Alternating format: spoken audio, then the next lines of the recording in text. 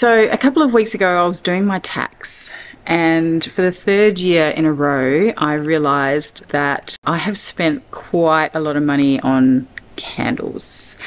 Actually, I think it's probably the fourth year in a row. So, I had this brainwave that maybe I should consider making my own candles. I've never made candles before, although I had a friend a few years ago who made all of her own candles for her wedding. And I thought it was a really great idea back then, but then for whatever reason, I forgot about it and didn't try to go back to it.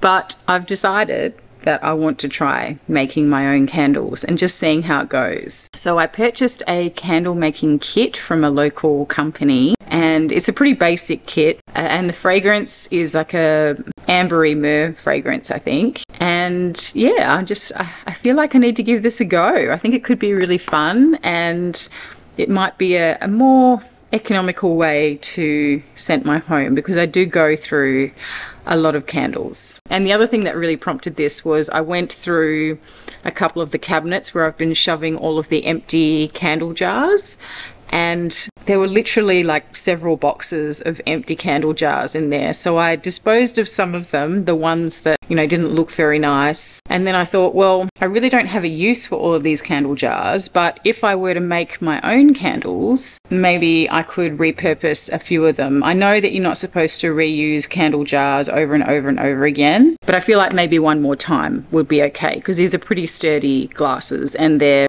designed for candles. Anyway, so that's what we're going to do today. We're going to we're going to learn how to make candles. So, I hope you enjoy this.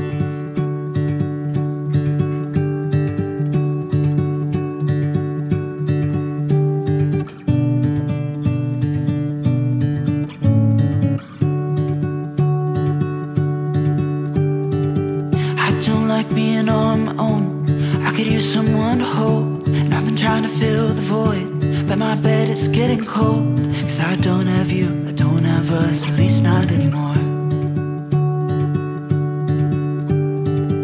You said you had to go away just to figure out who you are. And I'm in this empty house with your pictures on my wall. But I don't have you, I don't have us, at least not anymore.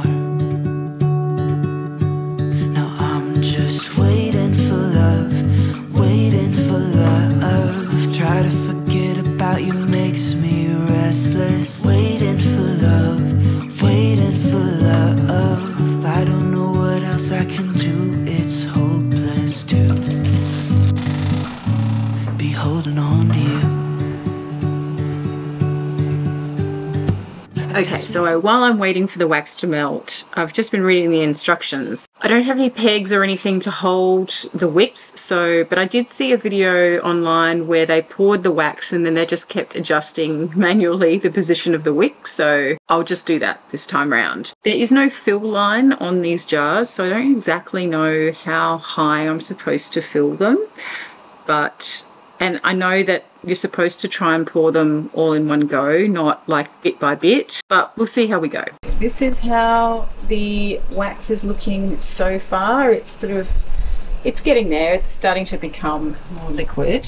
Okay, so I'm going to add my fragrance in now. It's at it's sitting at just under 70 degrees, the wax. So um, the fragrance that I have is Moroccan amber and myrrh. As you would probably gather, when you smell it out of the bottle, it's a lot stronger than what it will be in the candle. But I like it. It, do, it is a very nice sort of fluffy amber fragrance, a little bit resinous, tiny bit smoky, quite sweet, um, and also quite aromatic as well. Like a, it's got a bit of a minty, cooling aspect to it. Yeah, it's nice. We'll see how it goes.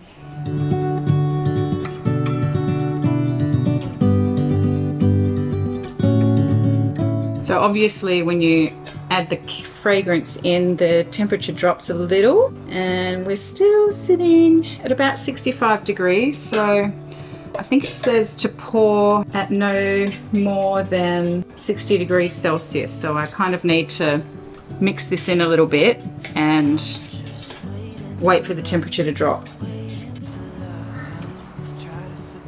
It smells okay. It's probably a little bit sweet for what I wanted. Once I've mastered the the actual candle making process, maybe I can then I can start to focus on some custom blends of fragrance to try and make something that suits what I'm after. Because ultimately the goal here is for me to be able to come up with a candle that I want my home to smell like pretty much all the time.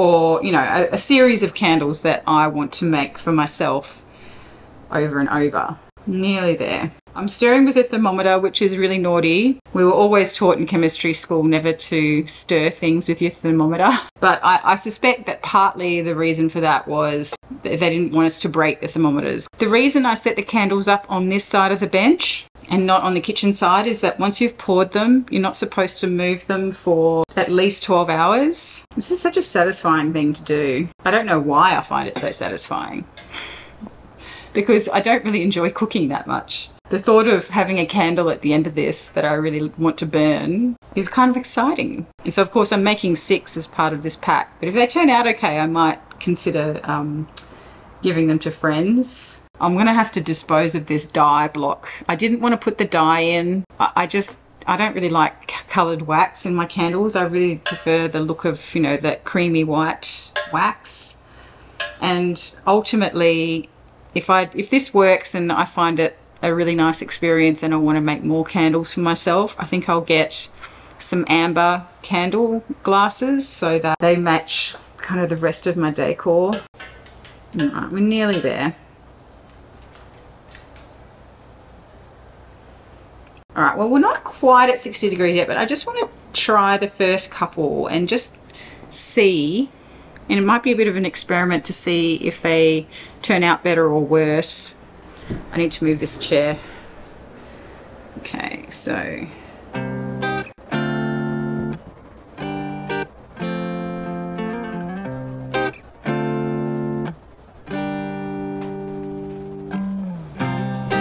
also if there's less wax in here it may cool quicker. I'm surprised at how long it actually, oh here we go. I'm surprised at how long it took to cool actually. That's kind of heartening because I was a little bit worried that I would be so disorganized and then the wax would cool too quickly.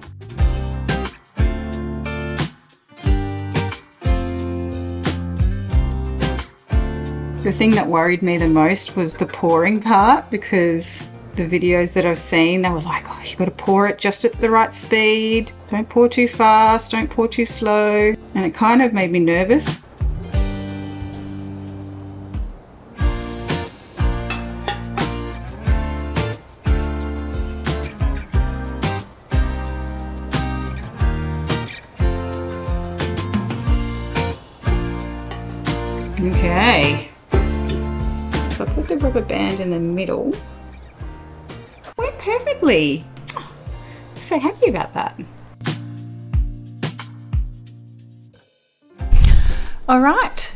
Candles are done. That was really fun. I quite enjoyed that. It was, I wouldn't say it was a complicated process, but I imagine that once I get to the point of testing out different waxes and trying to get the wicks right and testing out to see if I can make my own signature fragrance for my own candles, then that'll probably be where the, the real labor comes in.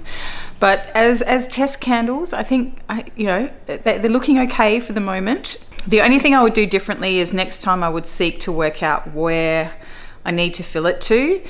Anyway, I'm now in my office and I really, really need to tidy it up. It's an absolute disgrace, actually. I'm a little bit embarrassed. I would be embarrassed if somebody were to come up here right now. so I need to tidy up.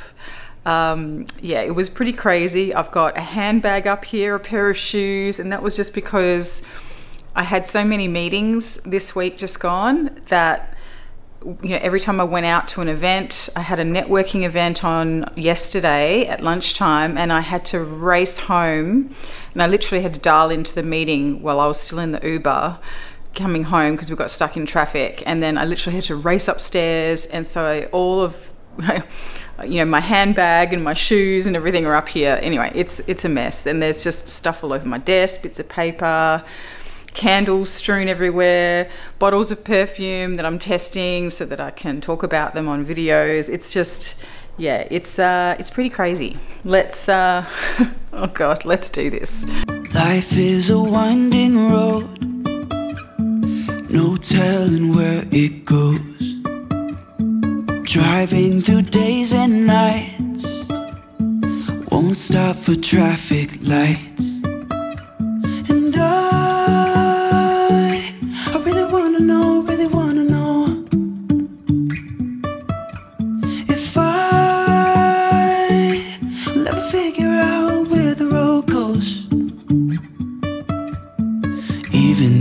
falling down, I will keep on searching for my highs.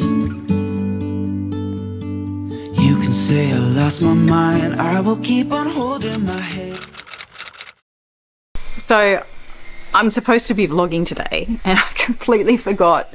I went out, totally forgot to take you with me. Oh well, never mind. So, I'm just going to close this door because I'm a bit worried it's going to rain this afternoon. So, I went to Bunnings, and uh, so uh, the reason I went to Bunnings was because I bought a makeup palette a couple of weeks ago. It was one of those hourglass fancy ones and everyone was losing their mind over these makeup palettes and I just happened to be in store when they had some and on the morning that they were selling them so I grabbed one like that was like the last one of this particular type the dragon palette I think it was you know I'd been kind of intrigued by them I didn't know if I wanted it or not but you know I just there was so much hype about it I was just curious I, I used it for a few days but I, I just it's it was fine. It was a very lovely palette, don't get me wrong. But I either just don't care enough about makeup or you know, it just wasn't there was just nothing about it that was making me go, Wow, you know, this is so amazing. So anyway, I, I sold it to a girl who had missed out and she really, really wanted one and she lived locally, so we decided to meet up at Bunnings. And then I grabbed, I had to go to Bunnings anyway because I needed a, a new watering can because mine broke. And then I grabbed a couple of plants as well. All right, so no judging the back of my car, right? This is where Poppy sits. There's my watering can, new one.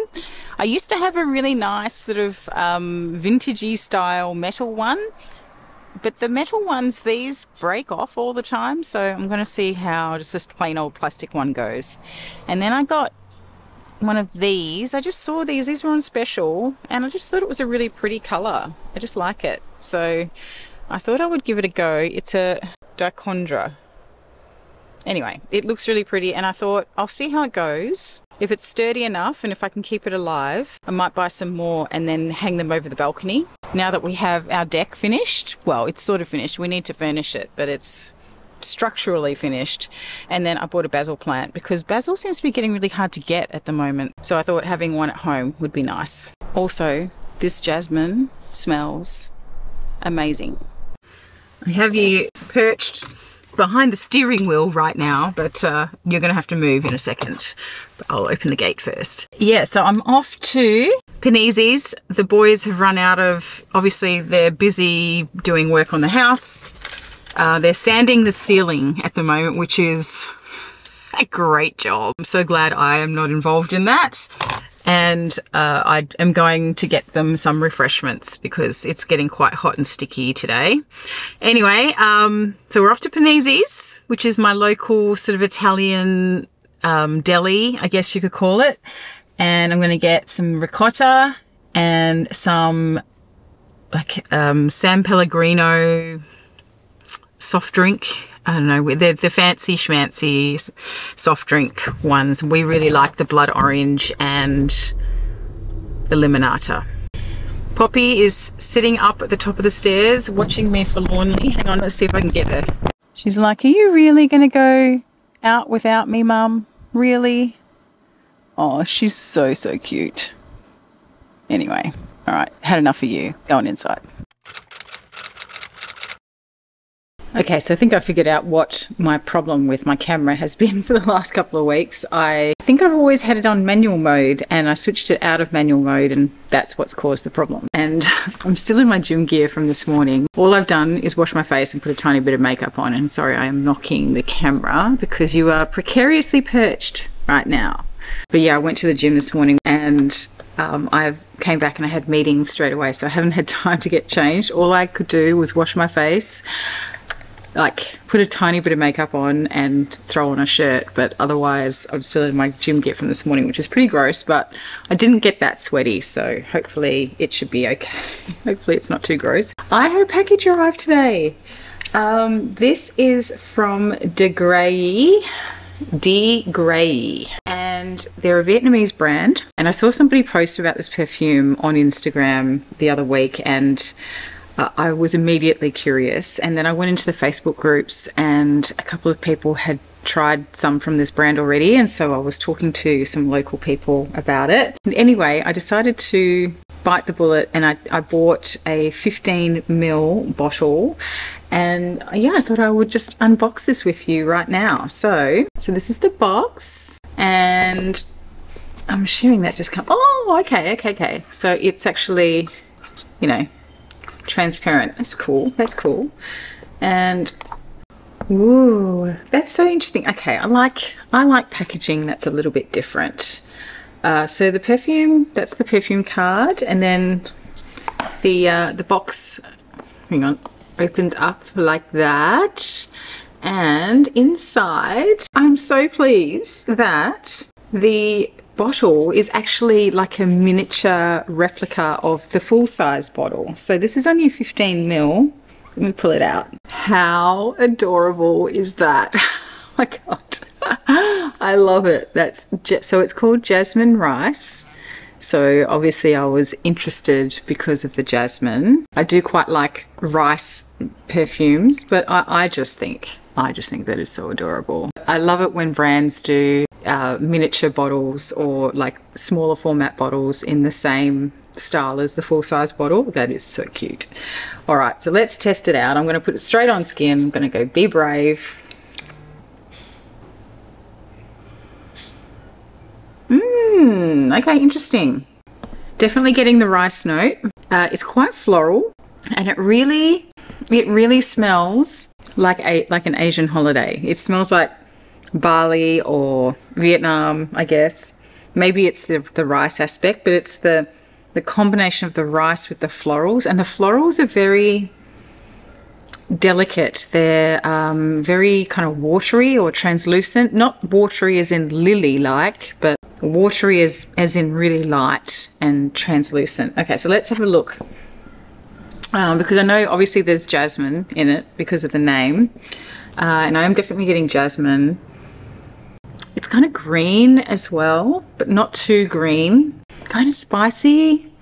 It's almost almost like a almost a waxiness, even though um, it's also got that ricey feel to it.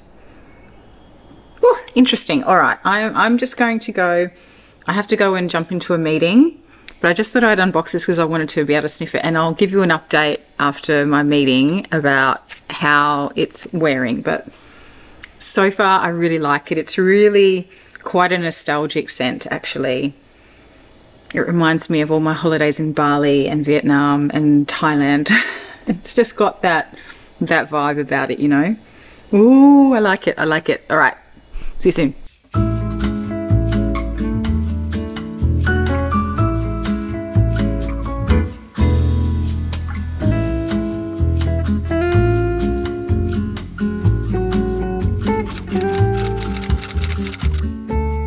Hi, it is now, what day is it? It's Tuesday. Itchy nose. We flew back in to Brisbane yesterday morning. We had the red eye flight back from Perth. That was torture. It actually felt like a long haul flight, as in like a 15 hour flight that we would normally do from here to Dubai on our way to Europe or something. It was, it, I was so restless. I had restless legs. I just wanted to get up and move around and I couldn't. It was a bit of a shame actually because we managed to get an upgrade on the flight home and it was just a 737 plane. So the, the business class in the 737s is not, you know, like you don't have a lie flat bed or anything like that, but it's still nice. You've still got more room. They serve you nicer food, you know. It's nice. I was a bit of a zombie yesterday. I did not work yesterday because uh, obviously, I'd had no sleep, so I took a sick day. Uh, and then today, ironically, I feel like I'm coming down a little bit with a cold, so I genuinely am feeling sick and I don't want to take another sick day, so I'm back at work. Uh, but yeah, I've just got a bit of a headache. I feel a bit sort of itchy in my throat, you know, the usual symptoms of a bit of a cold. And it's probably just because it was a big week last week. Obviously, going back to the town where I used to live, uh, you uh, spending time running around catching up with people that you haven't seen in a really long time. And of course, with mum being in hospital, which she's doing very well now. Thank you all for your kind messages on that video that I posted. The operation that she had was a fairly standard type of operation, lots of people have it, um, but she had a few minor complications, so that's you know, I was just a bit worried, and um, it just kept her in hospital for a bit longer. And because my parents live in the country normally, it was just really hard for dad to get down to see her every day.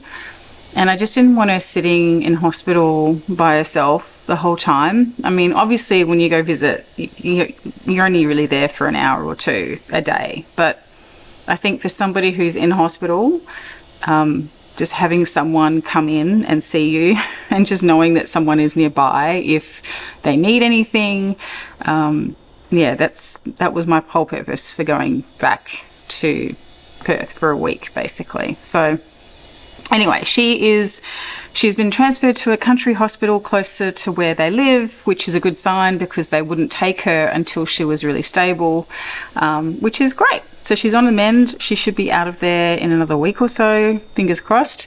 And uh, yeah, so I'm I'm glad I went. It was it was a hectic week, a stressful week, emotional week, but a good week. So today, as I said, I'm back at work and feel like the house is really chaotic still. Uh, I think the electrician was meant to be coming today to install lights, but it's after lunch and he hasn't showed up yet, so I'm not sure when he's going to be coming.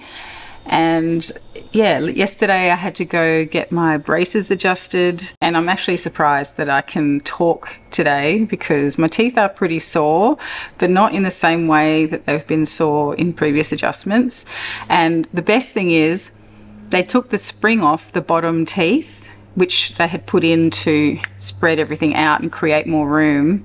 And now I've got the power chains on, so everything should now come back together and sit nicely within the next few weeks.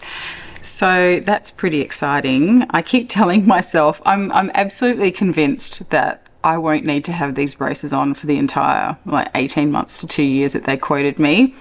I think I'm probably deluding myself, but uh, it's like it's a, a mindset that's getting me through because I keep telling myself, oh, you know, I'll only have them on for another six months or something. And that just, I don't know, it seems like a much more doable timeline than, you know, trying to think about 18 months to two years because let's just say I have not enjoyed having braces at all whatsoever. In fact, I've hated every moment of it.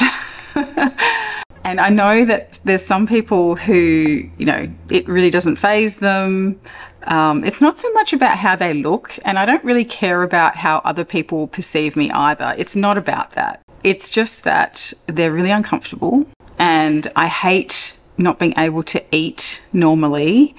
And I don't mind the cleanup process because I've always been, you know, a fairly fastidious tooth cleaner, so that doesn't phase me at all. It is a little bit more finicky when you've got braces, obviously, but I still floss every day, sometimes more than once a day.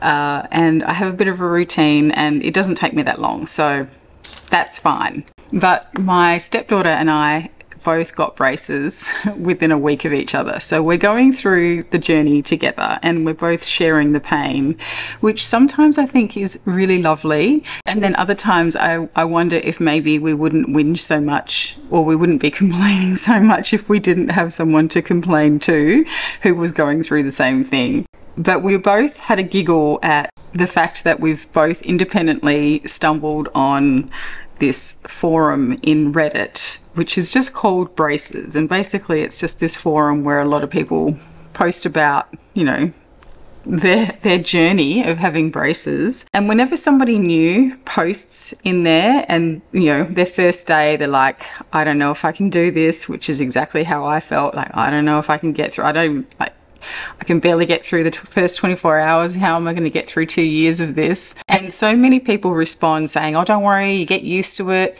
Others are like, Oh, you know, after a couple of months, you barely even notice that they're there. But the one that always gets me, and there's always one, there's always one person who says this. By the time I got my braces taken off, I was really sad about it. And that's just where I check out and I go, now I know you're lying. like, that's just too much of an overstatement. I cannot we'll put it this way I will not be that person. I will not be that person on the last day getting my braces off and feeling sad about it. I'd be curious to know if any of you watching would claim to have that experience because I know quite a few of you have had braces and particularly braces as an adult.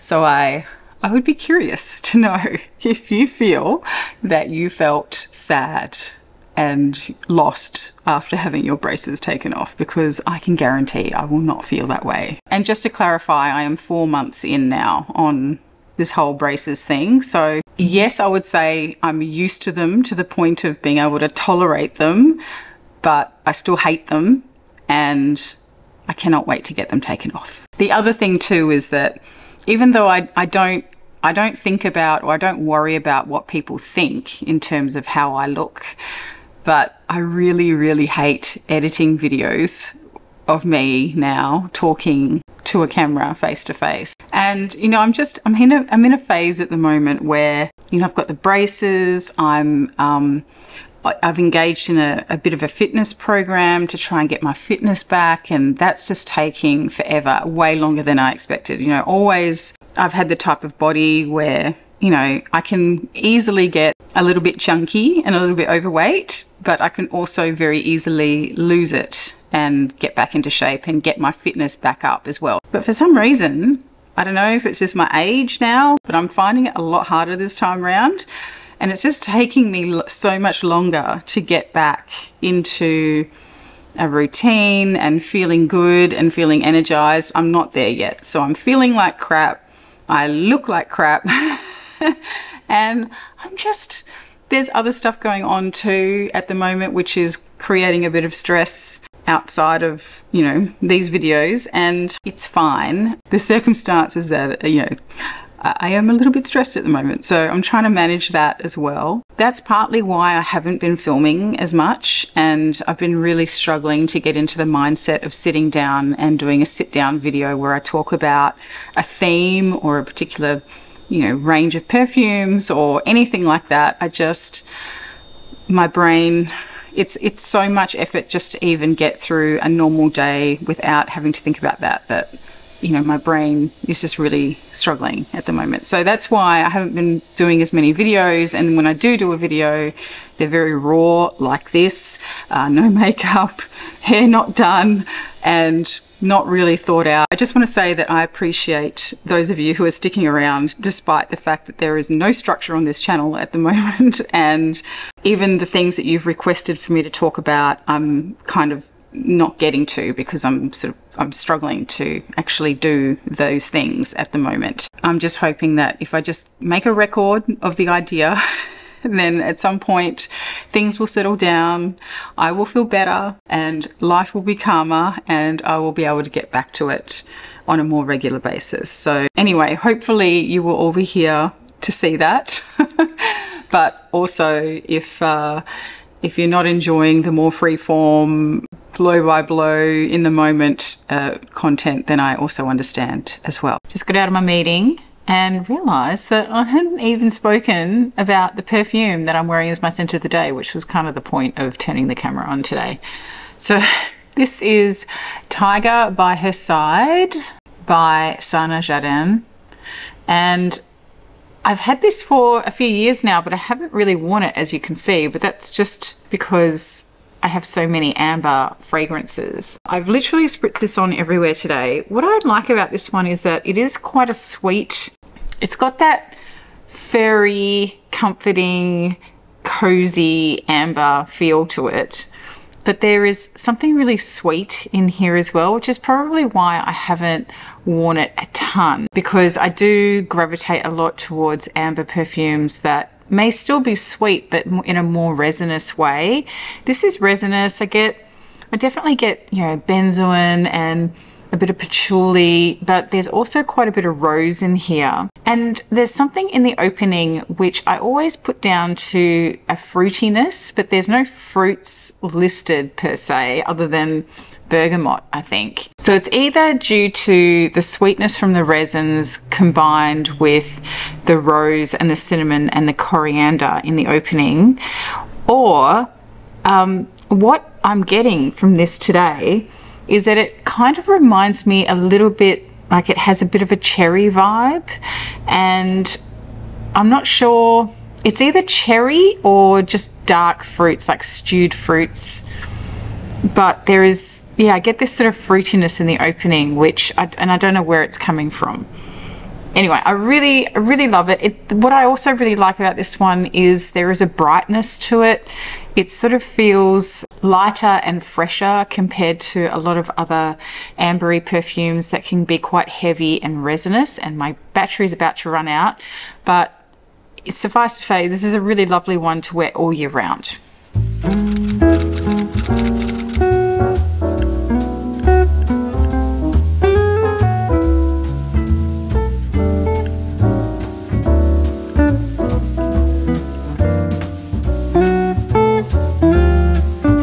Okay, so bring it here.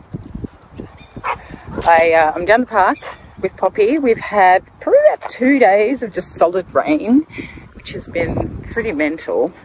And I thought I'd make the most of the sunshine this morning, even though it's pretty soggy down here, to uh, actually just get her out and run her around a little bit. I am wearing Tuberose, not Tuberose Criminal, uh, Tubereuse Astrale today by Maison Crivelli. Yeah, I don't love this. The opening is so weird. The whole perfume is just weird, actually. I'm, I'm trying to find the words to describe it, but you know, you've got the sweet tuberose in there, which is really, really sweet. And then there's something in there, I guess it's the spices and the cinnamon and stuff, that sort of uh, has this real acridy sharpness to it. And then you know, after it dries down a little bit, you also get this really, for want of a better term, kind of skanky BO type undertone to it, which I guess might also just be from the spices. And yeah, I'm really just, I'm just not loving it. You know, I remember trying this a few months ago and thinking it wasn't so bad. Obviously, as the weather warms up, it's uh, it's less tolerable because I mean it's pretty warm here today. But uh, I definitely tried it first in wintertime and I, I thought it wasn't too bad. I mean, I still got that kind of BO undertone, but I didn't think it was so bad. But there is just something today. It's, I don't know if it's got amberwood or something in it that like that really sharp, nose burning, sort of woody undertone. It's a hard no for me, I think.